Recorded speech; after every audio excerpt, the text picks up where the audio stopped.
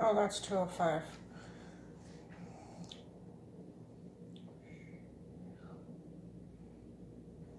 He goes around raping women to make himself feel like a man again.